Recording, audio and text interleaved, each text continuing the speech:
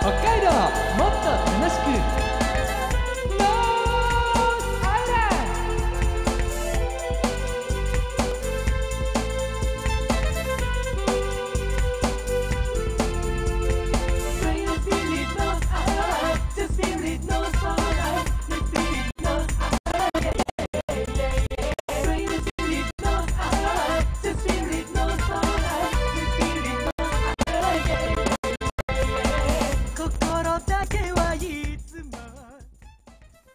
おはようございます。こんにちは。こんばんは。ノースアイランドでございます。この番組は北海道をもっと楽しく感じることができる B 級旅バラエティーです。私山田大輔ともう一人この人です。カモンバイバイ海坊主です。いきなり随分とあの ね今日初めてお聞きいただくって方もいると思いますけれども、はい。随分挑戦的なそうですねスターカモンバイバイ海ど坊うしたんですか？急に。いやもう来るもの拒まずはいはい。去るもの追わず海坊主です。ねめんどくさいでしょ皆さん。そうですね。いきなり。のっけから。で、えー今日のまあまああの数日前からスタートしてるんですけれども、あのノースアイランドに関しては初めましてって方もいらっしゃるかもしれません。というのもあの Y ラジオさんはい。の,、あのサイマル放送が、えー2月の12日からスタートしているということでインターネットでこれリアルタイムでお聞きいただいている皆さんもきっといらっしゃるんじゃないかなということで、ね。あのどうですか？たまに自己紹介したら。カモンバイバイ来るもの拒まず去るもの追わず海坊主です。なん何者なのかがわからない。これ、えー、と読みはこのままでいいのかな？CSRA さんとリスラジさんでスタートしたはいということでございます、こちらのねインターネット配信、えーサイマル放送ね、えーお聞きいただいている皆さんこんな番組です。よろしくお願いします。よろしくお願いします。どんな番組だよって何のこっちゃっていう話ですね。でも、あのー北海道札幌からこれはね、はい。あのー収録で撮っているわけですけれどもね、はいまあ、全国の方からすると、ね、ああ雪祭りあったところだなんていうふうにねそうですね。ね思ったりもおしてくださってる方多いんじゃないかなと思いますけれども、はい。雪祭り行ったんですか？雪フェス。はい。雪フェスはそうですね。チャラまあいですね、雪フェス、今年2018、うんうん。あまあ、ちょっと通りかかって、うん。ちょろっと写メ撮ったんですけど、うん。あのーハンドクリーム。ハンドクリームのニベアさんがですねはい。50周年らしくて、うんうんうん。そのベアクマさんですよそのニベアのクマさんがう。ん雪像になってたんですね、ニベアのベア。あそうなんだ、うん、なんか可愛らしいベアさんがうん。ニベアの看板持ってこう、な氷雪になってるやつ見ましたね、ハンドクリーム。そうなんだ。あれねこの番組ね、あのー、海坊さんにクマ寄るんですよ。そうそうでベアニベついについにニベアも寄ったんだ。もう寄ってきました。ああそうですか。そうそうそうそれは良かったですねでいいのかな？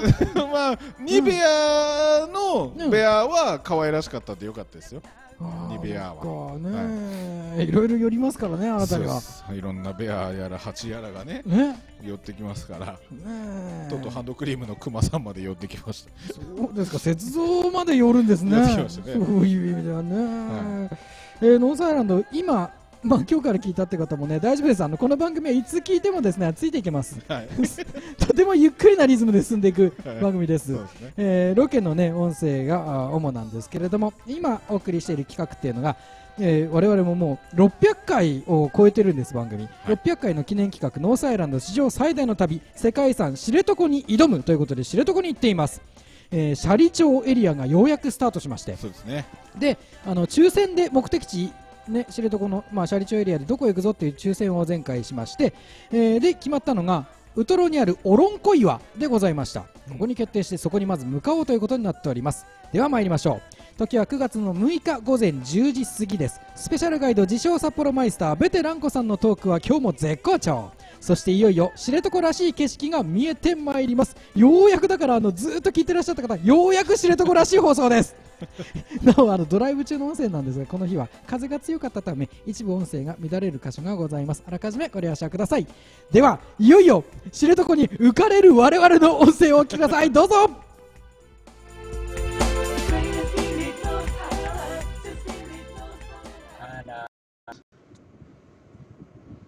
あん何引くばっじゃ。ねそうですね。え、見逃さないのね。そうですね。よく運転手さん見逃すのよ。はいあれ、次のバス停どこだったっけ、ランコちゃんって。そんなことあります？ほんと、お前の目は節穴かって言ってやるのよ。なんで海坊主の時だけ、海坊主は節穴だって言うんですかじゃあ、ちゃんと言ってください。海坊主の場合も。こんな短いはい。そうですね。バス停だってねいやかわいそうねここの運転手何回私に胸ぐらつかまれるか穏やかじゃないですね。本当よ胸ぐらつかむ系の人だったんですかあなた。え知らなかったの知らないですね。私ねいつも社長室のドアをはい。蹴り開けるのよはい。それ怒られないですか？なんかそれからね社長室のドアがねだんだん頑丈になってくのよねそうでしょうね。壊されたらたまったもんじゃないですから。だけどね、私は100発100中で壊してるわ。それだから、何の自慢なんですか？何もいいことじゃないですからね。ダメなことですよ、それは。社長の胸ぐらつかみやすいのよ。だから、あの胸ぐらいいわね。掴みやすい胸ぐらとか、なんて、なんてこと言ってるんですか、あなたは。穏やかじゃないですよ。多分あれ社長ね、チャームポイント胸ぐらよ。掴みやすい胸ぐらですよね、しかも。ただただ胸ぐら、チャームポイント胸ぐらって書く人いないですからね。胸板とかならわかりますか？おお、海が見えた、胸ぐら。海ですよ。胸ぐらさん見えましたよ。です。海ですよ。胸ぐらさん、海が見えましたよ。左手に見えますのが胸ぐらさん、海です。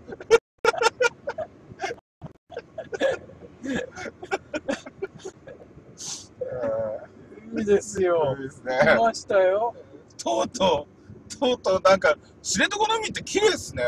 オホーツクですね、やっぱり。はいなんか、真っ青ですもん、本当に。綺麗だね。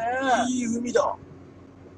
ああ、やっぱりいろんな海見てますもんね。いや、いろんな海見てますが、やっぱり全然何何の回ですか、これ。鳥居神社。うーん。あ、神社つまんけなんですよ。バーベキューあれ。バーベキューやってるよ、あの、自転車の方たちがバーベキュー俺。テーブルあったもん、今。ありましたね。何してんの？神社のところで。神社で、あれはいいんですか？あれダメじゃないの？神社、鳥しかも鳥居の真下で、ねえ。鳥居の真下でバーベキューなんてなんて恐れ多いことを。ピクニックかもしれんけどね。火はちょっとわかんなかったでも鳥居の真下で飲食も恐れ多いんじゃないですか？まあね。うん。なんかみんなすごいことしてますよ、今。外人さんですからね。やっぱりいいんじゃないですか。ねまあね、そこのところはちょっとまあ多めに見てあげてほしいですね。え結構由緒ありそうな神社で鳥居が古そうだったもん。ねもう歴史あるものだったと思いますよ、あれ。ちょっとなかなか見慣れない光景だったからちょっと衝撃を受けてました。鳥居の横でピクニック。し かもみんなあの、ガッとし自転車乗るあのね装備。ね、ロードマンって感じだったね。ロードマンって感じ。ヘルメットかぶって、うん。ね。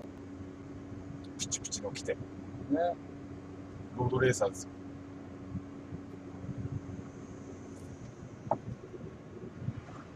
ツールド、ツールド知床ですよ。ありそうだね。はいみんなゴールの鳥居でうん。ね。ご飯を食べるっていうツールド知床。いいんじゃない？あの、なんか、スイーツマラソンとかもあるしね。そうですね。あれ、ここで途中通ったとこじゃなかったっけ？あれ。丹野とかじゃなかったっかもしれないですね。け面白い企画が多いんだよね、北海道。なんか今そうらしいです。なんか、鑑賞、乾燥した人には、あの、鮭一本丸まんまあげるとか、あ港町の方では。いろいろすごいらしいですよ。カレーマラソンとかあるよね、確か。あそねれも同等だよね。はあの、乾燥したら全部なんかそのカレい。ーの具になってるという ね。ね。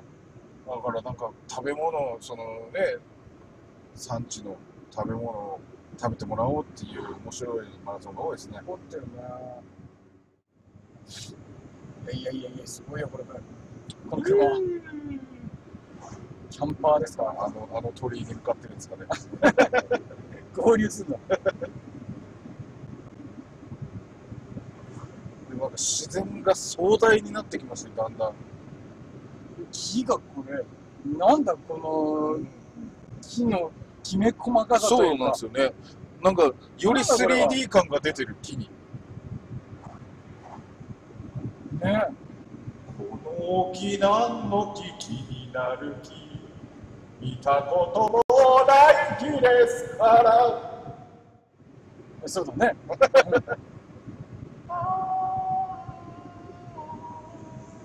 気になるでしょ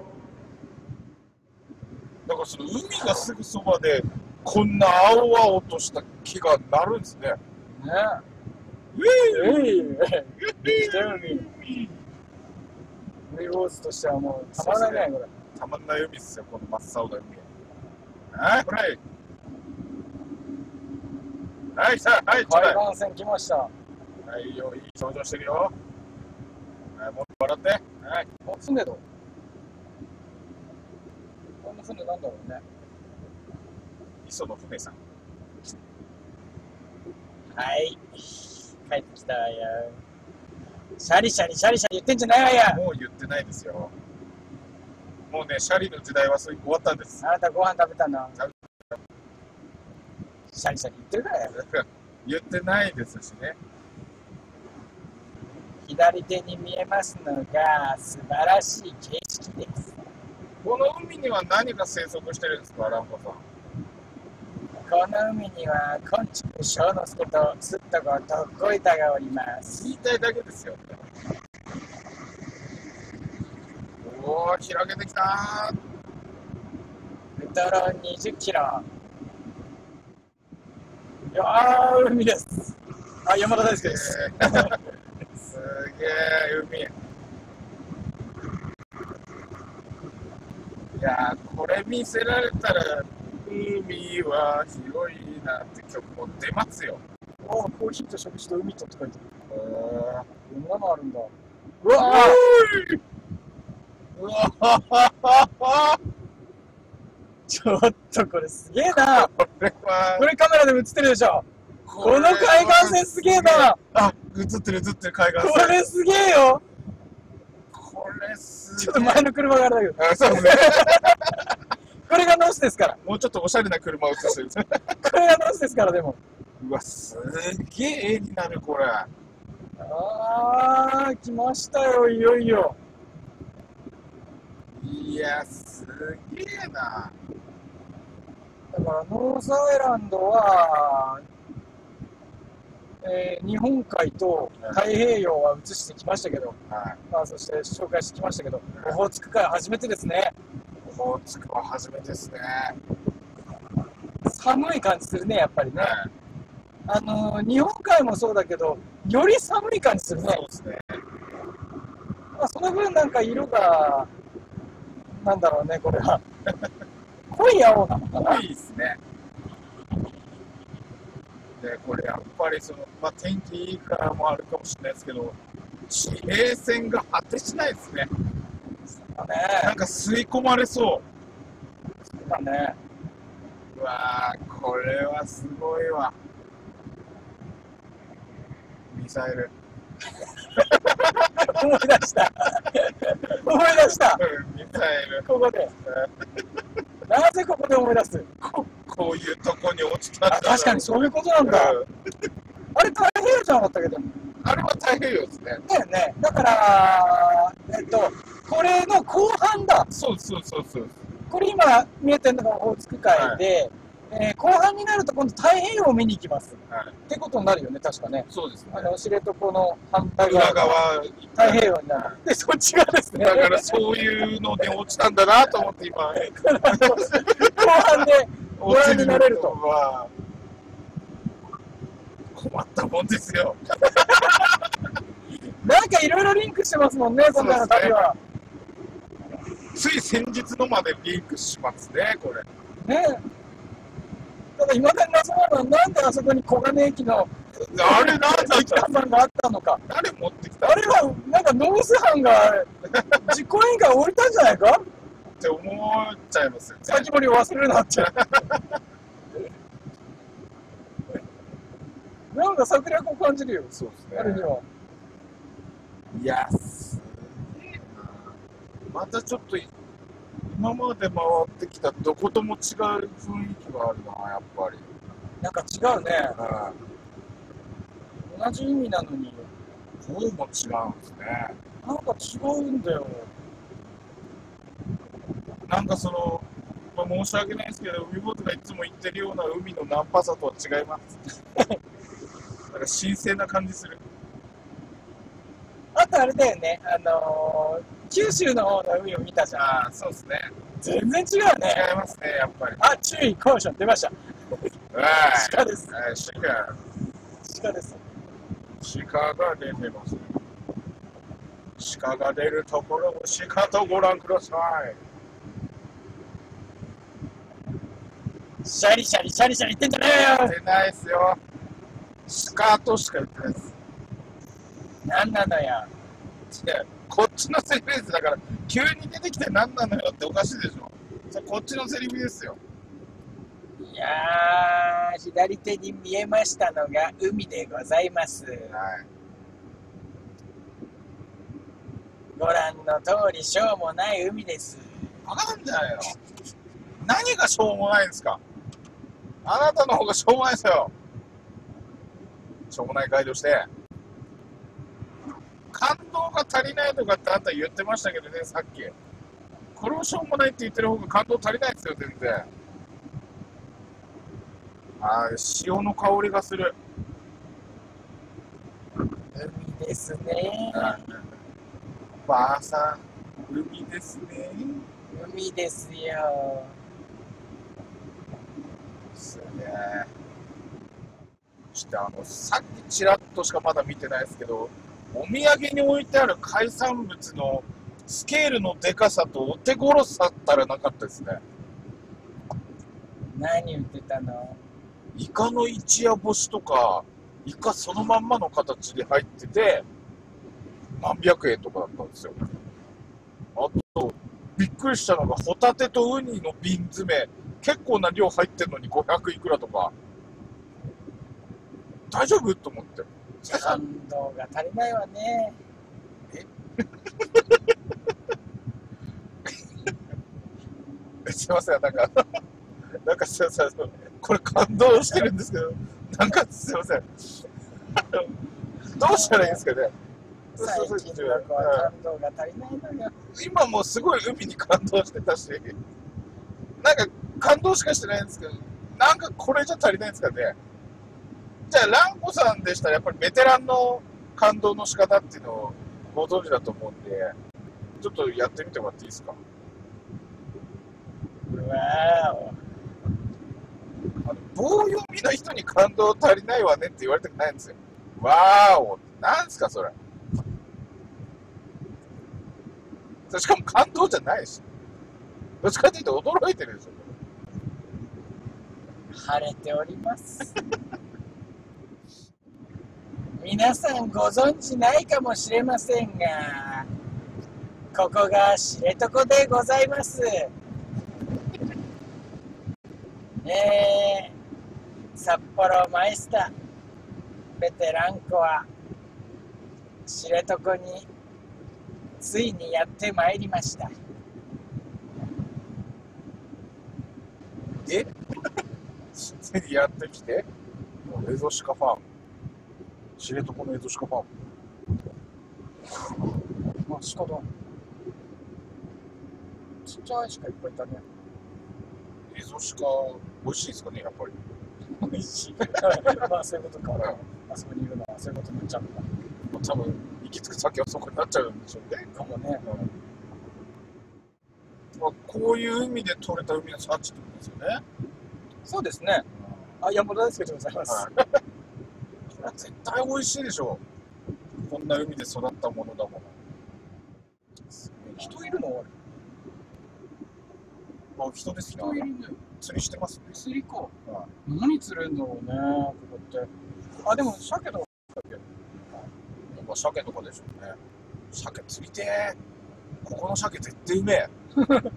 さっきの、なんか、鮭とばとかそうだったね。そうですねここで取れた。写真撮ってる本当だ。結構いるいっぱいいるもん。車もすごい止まってる。ああ、すごいな。知床で釣りか。夢あるな、なんか。あ、P って書いてるぞ。お、P、いいんじゃないかあ、おしんこしんの滝だ。こういう場合どうなるんですか？引いてないですけどよくないっすよ。よくないですよね。やっぱりそうなりますあ、滝だ。本当だ強引だな。滝だった。えー、あちらがおしんこしんの滝でございます。微妙に動いてはいますけど装備の滝だっけ？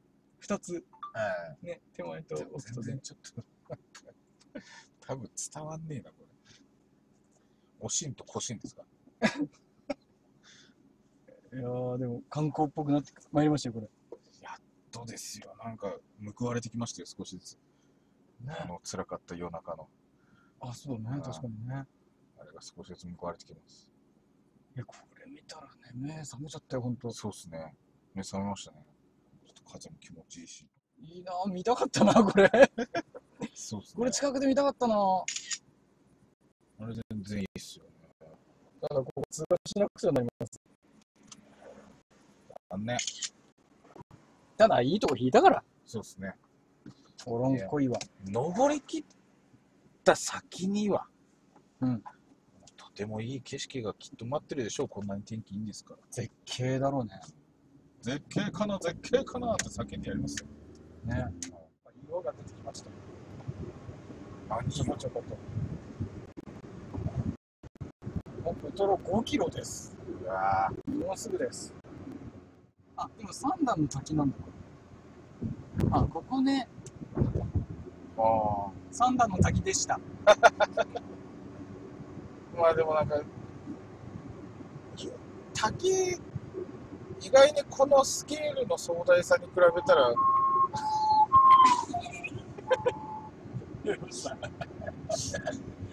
いや、ものすごいスピードで救急車が。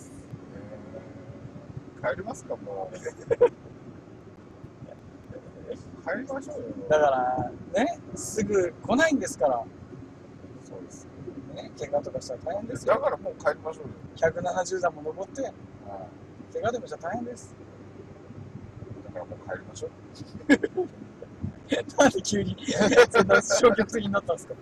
あのスピードの救急車を。明日は我が身ですよ明日どころか今は我が身今は我が身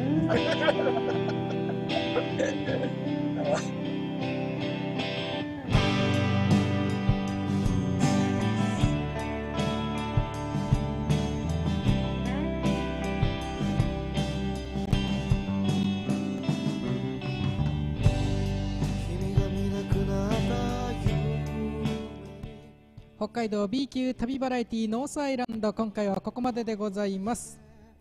ねあの散々感動してるかと思うんですけどそれでもあのベテランコさんには感動が少ないと言われていたみぼさんいや、じゃあ、ランコさんはどんだけ感動してんだって話になりますから。そしたらねあの、はいねすっごい暗い感じでそうですよ。落としましたねもうそれにね、なんでそんな暗いんだ言われてもしょうがないですよ。ね。えー、おしんこしんの滝そして三段の滝ってあたりをね通過して、はい。ねあのーこの辺り行くとやっぱり海がはい。まあ、オホーツク海を、あれだね、放送の中で言ったけど、オホーツク海を紹介したの初めてですね。十何年やってんだ、この番組。ね。そっち側あんまり行かなかったですからね。ね、うん。16年以上やってっか。東側あんまり行かなかったですからね。オホーツクが初めて紹介したってことになりましたね。はだ色やっぱりまた違ったね。い。色が違いますね、やっぱり。うんは青さが違いましたね。なんかね。は今寒そうだなんていうふうに言ってましたけどね、はい。確かにな。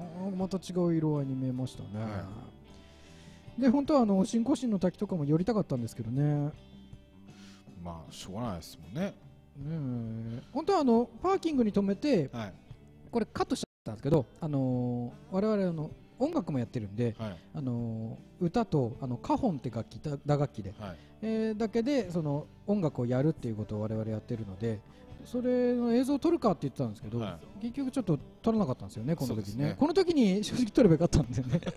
そう後で考えると。あのあそこでまあ止まるっていう決断をささっとしてささっとそうそう。止まればよかったんですけどねねまあ、駐車場もいっぱいだったっていうのは確かにあったんだけど、はい。あのワンチャンスだったなって後でも言ってそうですね。ありましたね。はい。結果的にもったいないことしちゃったんですけどすっごい綺麗だったしねあの天気も良くて、そうです。見晴らしも良くて天気も良くてね。ね。絶景のロケーションだったんですけど。ノースアイランドで思えばだよ。この時になんで気づかなかったんだって思ったのがノースアイランドであんな快晴のね青空だったことが一度もないじゃないかと。まあ、あの前にも快晴はあったけどその後結局みたいな感じだったので。着いたらどんよりだったっていうかね。快晴のうちにやっておかなきゃいけないんですだからノースアイランドって番組はいつも曇りだろうと。そうですね。なぜその時に気づかないのか。そうですね。晴れが貴重だっていうことを気づかなかったですね、なんかこの日はずっと晴れだって思ってたんだねまあそうですね。勝手に。はい。決めつけるんだまあまあ天気予報も晴れだったしね。まあだから油断してしまった部分はあったでしょうね。この時はもう完全に油断してる。着くまでだいぶ警戒してたので、うん。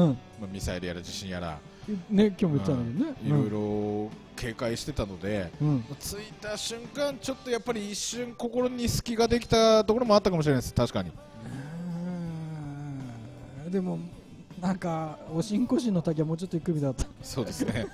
人も多かったしね。そうなんですよね。観光客多かったよちょっとわんさか人いたのでうん。避けてしまいましたけど本当はすごい見たかったですよね。あの滝も透き通ってて綺麗でね。ほんとね。チラッとしか見てないんだよね。そうです。まああの初めてこの番組を聞いていた皆さんあのこういう感じでいろんなところを旅する番組なんですけど旅の中でもいろんな波乱が起きます。はい。その波乱の内容をまああのねあの他人の目線で楽しんでいただければとね いうふうに思っております。今後もよろしくお願いします。公式サイトもありますしあと動画の配信もありますのでそちらもご覧ください。ノースアイランドカタカナで検索してみてください。この時間は私山田大輔と海坊主でお送りしました。ノースアイランドまた来週です。さようなら